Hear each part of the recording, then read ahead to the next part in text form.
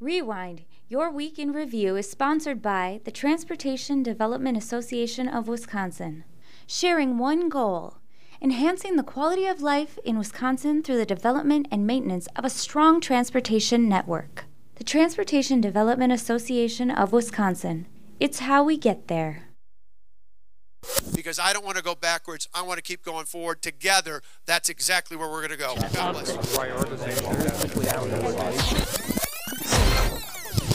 I'm Steve Walters. And I'm J.R. Ross. And this is Rewind. We normally look at one week worth of news, but we're looking at two weeks worth of news because we were off for Thanksgiving holiday.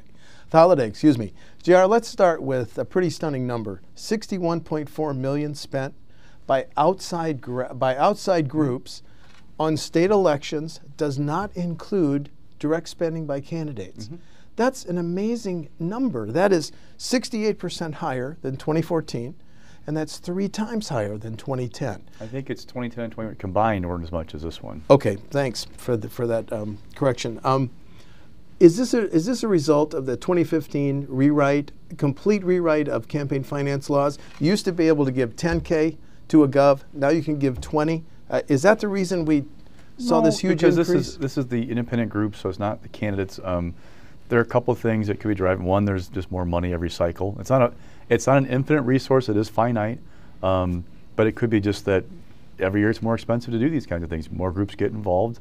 That could be part of it. But I, I don't know that it's a a result of rewrite campaign finance law as much as what was at stake okay. this election. I mean, think about in 10 and in 10 and 14 in 10, yes, we had um, a change in power, party power in the executive branch, but it was different. Like a Republican wave year, um, 14, Walker was strong favorite to win re-election. Also another Republican strong, strong Republican year. This one was really up for grabs. You know, there was a chance to win, so that might have inspired more spending you know, a real shot to take up back Wisconsin for Democrats. And we're getting our numbers, of course, from the Wisconsin Democracy Campaign. What about the parity here? The Wisconsin Democ- Democracy Campaign totaled pro-Republican group spending at 31.3, pro-Democratic group spending at 30.1. That's almost parity. Yeah, you know, I don't know the methodology, but the thing that I found, like I track, so we have two things you have to know here. One, there is issue advocacy, which we know exactly what was spent because it's reported to the state. Yep. Okay. Then there's, or sorry, express advocacy. Issue advocacy, this is like the ad that says, Steve Walters is a jerk, calls people, tell him he's a jerk, those kind of ads. Yep. Not that I'd run that kind of ad, mind you, but Thank you. those ads, those aren't reported. So you have to kind of like figure out through TV buys. The component that's missing from this, that might be missing, is digital ads. I've talked to campaign aides. You can't track those any way, shape, or form. Even because at least with like TV buys and radio, you can go to like the station, look at the buy, and see how much they spent. Digital ads, there's no central location to figure it out, and that's been kind of growing. As I mean, I see more digital ads now than I've ever seen before because yes. they're targeting people. So I don't know if how how if how complete the total is, but that's one thing I kind of wonder, like, where is that being accounted for? Right. And let's look at the nine groups that each spent more than $1 million because those nine groups spent 51.8 million of the 61.4. So let's just run them down quickly. Jump in if you want. The Democratic governors 10.9, Republican governors 13.4, Americans for Prosperity, that's the Koch brothers group, uh, Greater Wisconsin, that's the liberal elect Democrats group. Mm-hmm. That that was seven million. Then one million from the uh, Wisconsin League of Conservation Voters. WMC 5.3, they weighed in pretty heavily. Republican Attorney Generals Association 2.8. Democratic Attorney Generals Association 2.1. 1 million from the Republican State Leadership Committee, which is a group I'm not aware of. So uh, they do uh, legislative races essentially. The DGA was largely issue advocacy, RGA largely the um, uh, express advocacy. So we saw those. They had two groups yeah. that they ran ads through. Americans for Prosperity is a mix of both. That's what kind of stood out to me about those things. That there was a different approach from them, but they were, you know, got their got their message across. So a digital ad, vote for JR. He's a great guy. Is that an issue or an express? Uh, vote for JR ad is express advocacy. You're directly advocating for the election or defeat of somebody. So it's the magic words vote for, vote against, support, right. you know, those kinds of things. The ones that don't have that, we see them all the time, like the issue advocacy. Yeah. That's the stuff you have to report to the state. But you'll never see that ad because JR is never going to run for anything. God, right. no. Okay. now, I want to get into the lame duck session, mm-hmm. and I realize that we don't have the agenda and the bill text. We don't know exactly what's going to be before either house as early as next Tuesday. But let's bet, let's get into it this way. Let's uh, at the start of the week, Senator F- Senator Fitzgerald said maybe 10 or 11 of the 18 Republican senators would vote for the Kimberly, Kimberly Clark tax breaks. Quote, it's going to take a significant amount of Democratic votes to get this through. Let's just focus on Kimberly Clark for now. Do you? Uh, I do not expect it to come up because they don't have the votes. Do you? No, um, the, look, when it was three votes, like so, the best case scenario I heard about two weeks ago was that they could keep it to the three public no votes from Republicans. Uh, Luther Olson, who's also a Republican senator, he had raised concerns in a joint finance hearing about, you know, the bill. Mm-hmm. So at best case scenario, you keep it to 14 Republicans, the rest, other 14 Republicans, you keep them on board, and find three Democrats. Yep. Now you're talking this is just a too big a mountain to climb. Right. Okay, now let's talk about some potential subjects. I'm going to go through them, and you're working this every hour, so mm-hmm. add what you want. Um, reducing the number of the gov appointments to WEDC. Mm-hmm. That's that's pretty much a lock, isn't it? I believe so. And the other piece of that that we're waiting for to see the details is you would go to parity essentially, Yeah. where you'd have the governor's appointments and the minority leader's appointments of the board match the appointments by the majority leader in the Senate and the Assembly Speaker. Then you have a split board. If the current political configuration, start January 7th, you'd have a split board equally, right? Yep. Then the board would appoint the secretary or the CEO, they call it, of WEDC. You take that away from the governor. Therefore, Tony Evers would not be able to appoint the leader of WEDC if this goes through. Okay. Now, um, is it a lock that they're going to move the, uh, the the election of the uh, Supreme Court? No. Uh, It's not a lock. No, Because uh, right. Well, okay, but let's back up. Right now, it's scheduled. We're scheduled to elect a Supreme Court justice in 2020 in April. Yep. With the presidential primary. The same day, yes. Okay. Now they're talking about backing it to March. Or going later, one Oh, of the two. And and Senator Fitzgerald, in a moment of candor, said that would give uh, incumbent Justice Daniel Kelly a better shot. Right? Absolutely. But, uh, now you've been reading this by the hour. What's your read on it now? Uh, Robin Vos told me after caucus on Tuesday that they had consensus, broad consensus in his caucus on several things, including the change, the, the date in the primary. Fitzgerald uh, said, you know, they're still working on it and talking to Republican senators. They don't have consensus on that. Now, they can pull it out of the fire and get it done, but right now, like, there's a split in the two houses about that provision. Okay. Now in the last 12 hours, I see that they're committed to passing something prohibiting discrimination based on pre-existing conditions when you buy health insurance. Mm-hmm. Is, is that is that a lock for the lame duck agenda? waiting for final language. It looks like there has some momentum behind that. It's a question of, I don't know because of the, I'm not a lawyer, but how closely they can match a state law to the protection of the Affordable Care Act. I don't think, from what I've been told, they can go as far as the ACA does or Obamacare. So it's a matter of what's the language look like to en- enact those, pr- those protections in state law. Okay, and I noticed your newsletter yesterday. They're talking about changing the, the, the, the tax law. Possibly. This, this, the U.S. Supreme Court ruling said if you're an online retailer, you must pay states' sales taxes. And the issue is should that additional money to the state treasury be sent back to taxpayers at a tax cut? Although that's kind of a shell game. Sure, that was one idea being discussed. Also, um, remember, U.S. Senator Ron Johnson with the federal tax bill held it up because he wanted to have a better treatment for pass-throughs. They look like they're trying to federalize state law to match what that does. So there's still things that I didn't have the full details on how it's going to look, but they're moving toward some of that stuff. Okay, what do you expect to be discussing it. announced later today in terms of an agenda and a schedule? Are we going to see joint finance meet, public hearings on Monday, then Senate in on Tuesday, or is it just too much up in the air? Tentative plan was to have joint finance come in on Monday, um, send at least somebody on Tuesday. I don't know the full agenda yet. They haven't made it clear because they're still, from what I can tell, I'm talking to some senators, Republican senators, they're still trying to get consensus on some things, and they're still concerns about provisions they're hearing about in these bills. We haven't seen the final bill draft yet as of Right. We sit here Friday morning, so that will shape the conversation dramatically about what's actually in and what it would do. We have still also not seen the formal agenda for a joint finance meeting, so there's a lot of unanswered questions. Now let's talk about the process. I'm so intrigued. The Assembly, Mr. Vos, is interested in one mammoth bill, whereas the Senate wants to run separate bills, correct? That's last I heard, yes. So we'll see where they end up on that. Now, part of the philosophy is with one bill, if you have members that don't like certain provisions but like mm-hmm. others, and they have to swallow it and vote for the whole thing. Yep. That makes it easier to get it through, or could get it easier to make it through a tight window like in the Senate. Fitz seems to know that he's got a more difficult task with that, that people will pick it apart or he's going like bill by bill to try and make it easier for his caucus to digest. It looks like. And it's also very possible that they cannot get consensus and these bill drafts by Tuesday, so we don't even know the timing. Entirely possible. Okay. So there is a there is a push to get this thing done and get it done quickly. Okay, new subject. Were you surprised that Governor Walker now has changed, has signed off on an amendment to the Forest County Potawatomi Compact, which says if there is another casino within 30 or 50 miles of their casino in Milwaukee, they get to withhold $250 million, one one quarter of a billion dollars.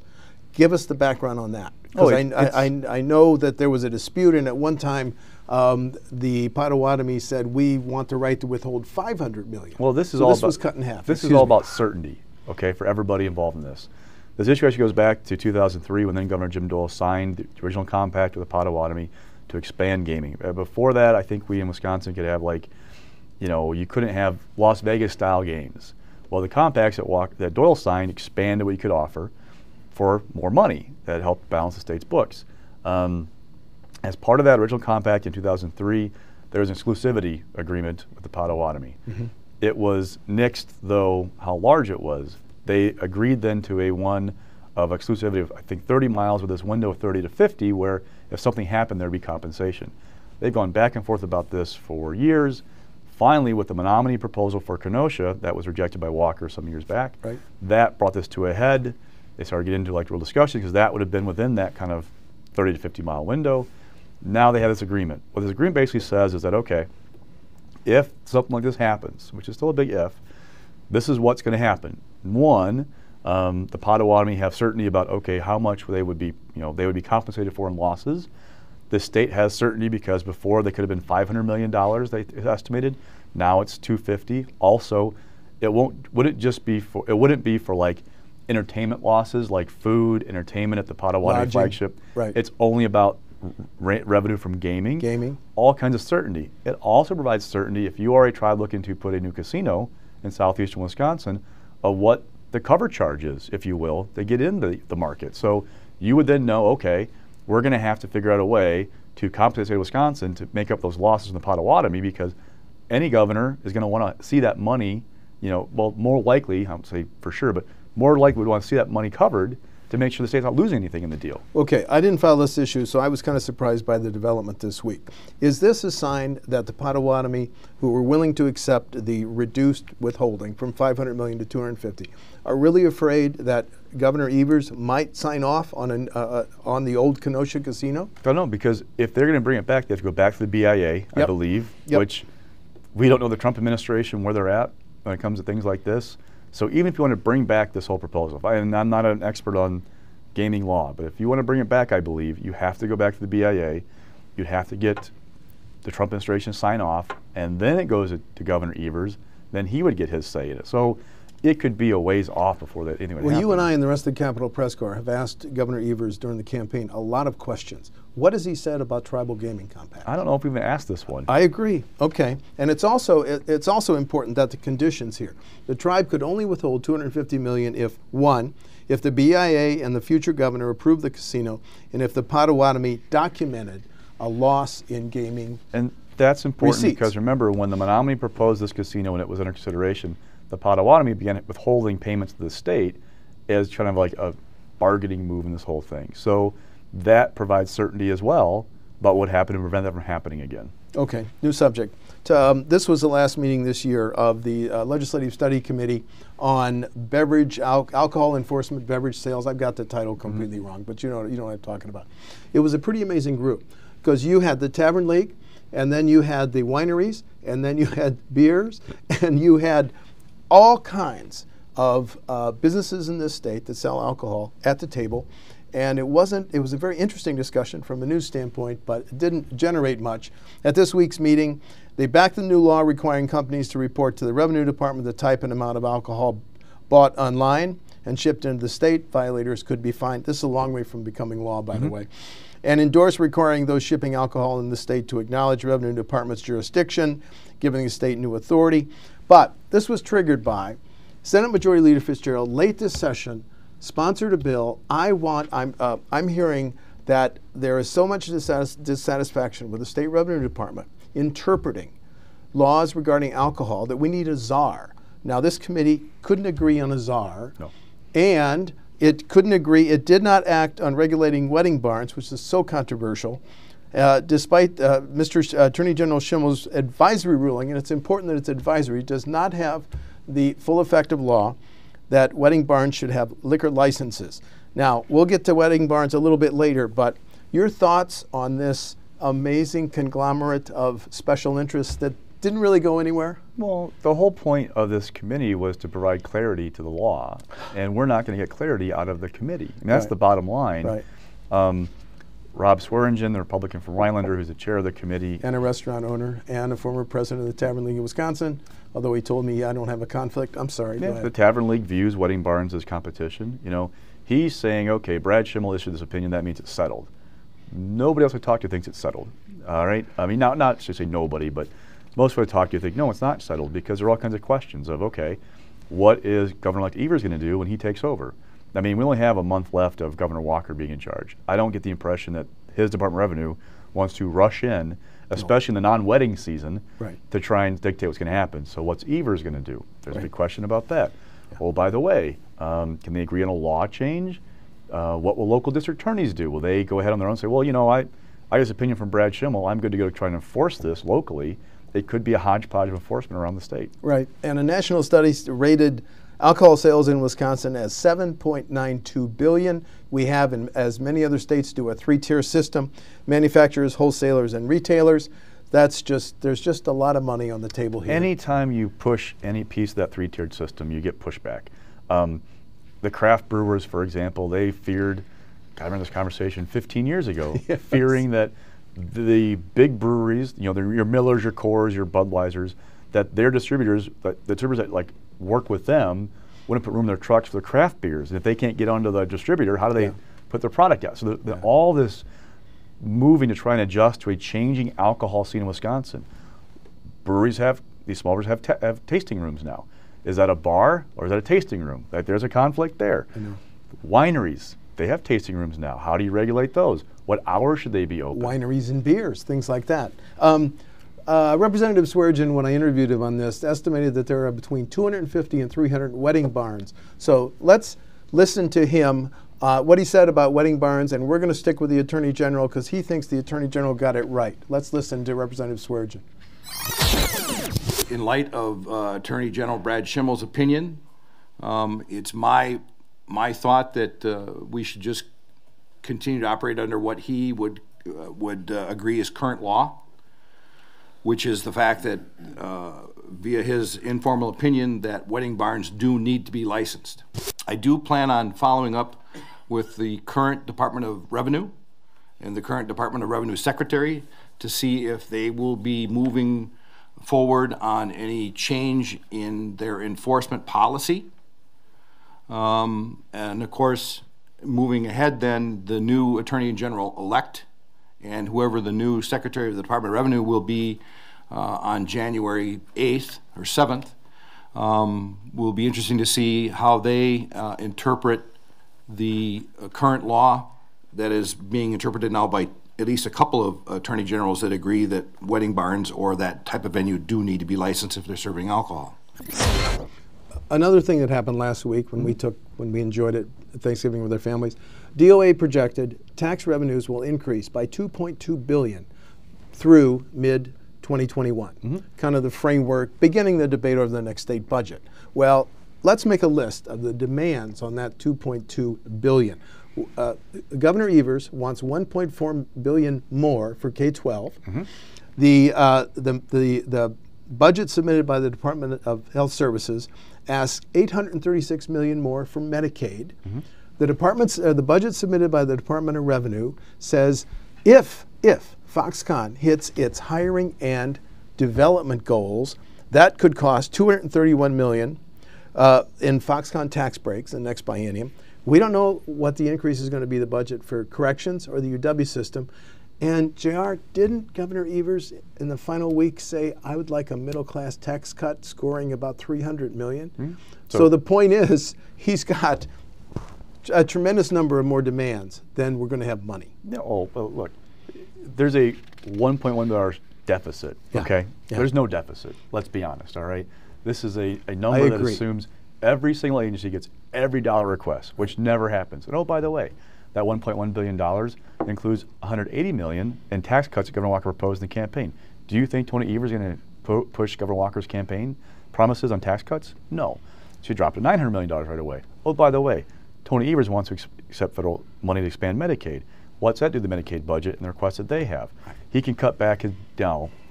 People don't think he'll cut back his D own DPI budget because that's what he ran on. But UW asked for 300 some million dollars. So what do you do there? I mean, there are lots of ways. This this this deficit is not real. What is real though is he has the best revenue picture of the his two predecessors walking in the door in the first day. Yes. That is two, and now part of that 2.1 billion is in this biennium because revenue growth is going to be better than we thought in this biennium. So he's got 2.1 billion to play with in new money on top of what we're spending right now. And here's the thing, I don't know if it matters because whatever he proposes, Republican lawmakers have basically said we're not going to work off of his budget. We're going to work off the current budget and insert new numbers that we want. So how's that going to look? Oh, Evers wants to do so his middle class tax cut. He said, for example, he would pare back manufacturing ag credit to pay for most of it. I mean, like this budget is going to be fascinating from the perspective of how are they going to reach a deal. Back with Doyle, right in 2003, he was at veto pen and crossed out all kinds of stuff. What do they do with Evers? Well, and let's say they let's say the joint finance and the Republican leaderships work works off our current budget base. They then defeat all the Democratic amendments, put this budget on his desk, and he he has a, a, a Senate Majority Leader Fitzgerald says he has the strongest veto power. But one potential, could he veto the whole thing? Hey, Absolutely. you wouldn't listen to me? Start over. So, um, with when I bring up Doyle, the veto power has changed a little bit since Yeah. 2003. They've reined it in.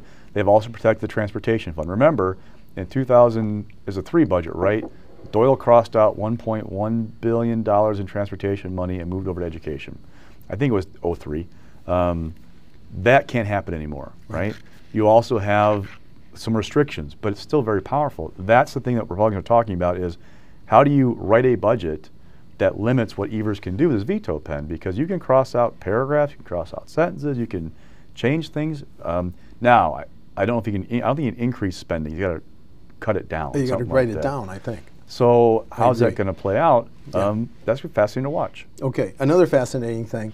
Shortly after he conceded the election to Democrat Josh Kaul, Attorney General, Republican Attorney General uh, Brad Schimel uh, is named a Waukesha County judge. He was raised, I think, in Mukwonago. He started his career as assistant DA. Um, so that was news in and of itself. And then, of course, uh, Democratic Chair Martha Laning said, you know, oh, that's a bad thing. So I took a look then at the number of judges that the governor has appointed. So two of the uh, seven Supreme Court justices, seven of the 16 Court of Appeals judges, 65 of the 247 Circuit Court judges. Now, if you add all that up, it equals about almost one in three Wisconsin judges. Now, that's not true because judges like James Troupis in Dane County was appointed and then he didn't seek reelection. But is there any doubt that the governor has had a large hand in reworking uh, our number of judges and justices? I mean, Rebecca Bradley, for example, she was already going to run for the Supreme Court when she was appointed uh, that fall or the spring. Being the incumbent gave her a leg up for sure in her retention bid. Um, if you're Daniel Kelly, you want to be the incumbent running. To, I mean, it just gives you have the power of the road. That's a big thing. With Schimel, what's fascinating is so this vacancy opened up in I believe September. Started getting applications. I think they're due by October, and all of a sudden in November he gets appointed. So I, I, I've asked, and I've not received back yet my open record request, the applicants for the job, the finalists for the job, because I'm curious. Did Brad Schimel, for example, push anybody to run for, or to seek this? I mean, you're thinking Waukesha County. He's from Waukesha County. Yes, he's top cop in Wisconsin. There's likely a tie between him and somebody who applied for the job. Now, with Schimel, you can't question his qualifications for a circuit judge appointment, No, right? you can't. I mean, you can't, absolutely cannot. You're point, right. DA's office from 1990 on. I mean, remember these are, you know, first-time judges for the most part being appointed. A- DA's office from 1990 on. He won election in Waukesha County. Um, in 06, he won the primary for that uh, open primary for, op- primary for open seat for the DA's office. And four years later, he was unopposed for re-election. He won 66.6 percent of the vote in Waukesha County just in November in the AG race. Right. So whoever Walker appointed has to seek retention in April. So Schimel has got the name ID, he's got a campaign infrastructure ready, he's, he's won election. That's all good things for Brad Schimel. The questions I hear, the process. How do you get the appointment?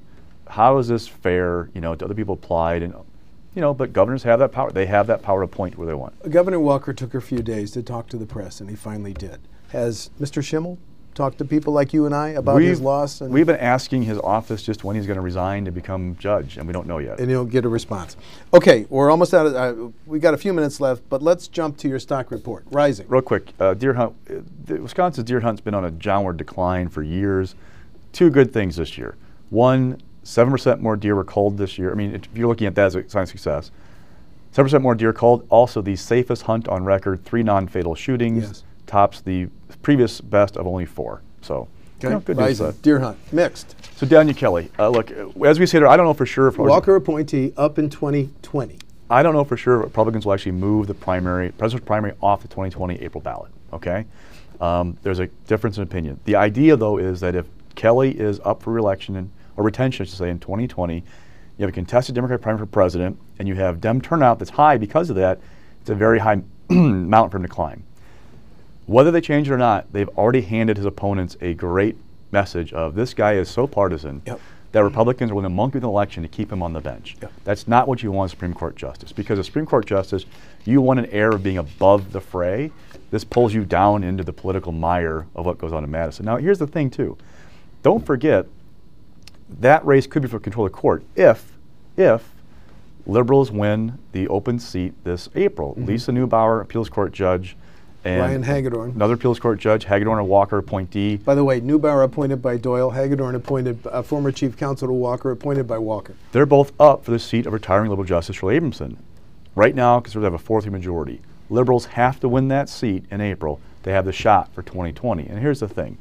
One, will it even matter in 2020? If Hagedorn wins, it's all a moot point. Mm-hmm. Number two, if control of the court is really up, and it would be flip it for the first time in really a decade or so, right? Yeah. 12 years. If it's really truly at play, they're going to open their wallets big time. The conservative groups will mm-hmm. to try and retain that seat. So that all these things that you're also just handing this issue to liberals to go, hey, this guy, you know, he's a little bit on the up and up. These guys are monkeying with stuff. So I don't know if they're going to do it, but they have not helped them out. Now, the caveat is, will voters remember in a year and a half? That's true. But Very I bet true. you someone try and remind them yeah. in April of 2020. And then falling.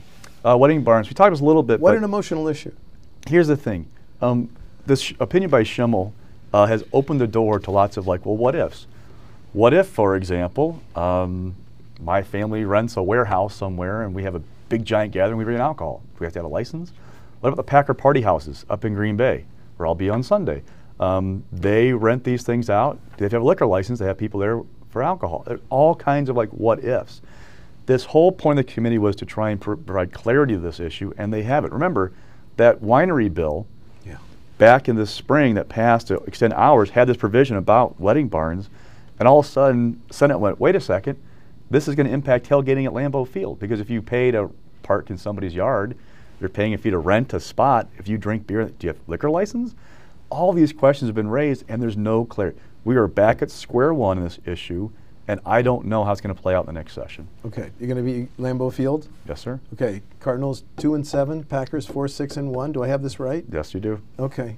Um, and just, I've invited a special guest to join us for uh, next week's Rewind. I haven't gotten word, so I better not say who it is, but I'm Steve Walters. And I'm J.R. Ross. And that's Rewind for November 3 0.